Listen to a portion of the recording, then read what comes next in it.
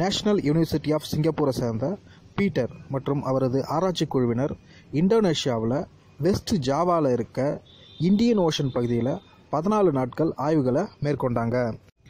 அப்போது அவங்க ஒரு புதுவிதமான உயிரினத்தை கண்டுபிடிச்சாங்க. அது பார்க்கறதுக்கு கரப்பாம்பூச்சி அதாவது காக்ரோச் போலவே இருந்ததுங்க. ஆனால் அது நம்ம வீட்டில் பார்க்குற காக்ரோச் மாதிரி இல்லைங்க.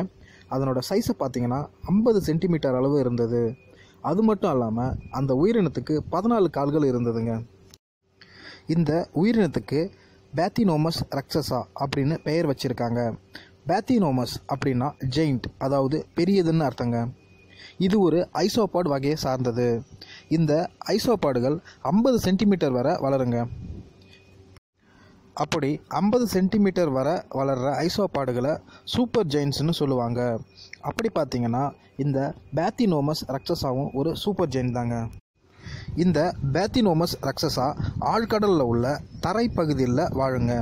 இது கடலில் இறந்து போன உயிரினங்களை சாப்பிடும்.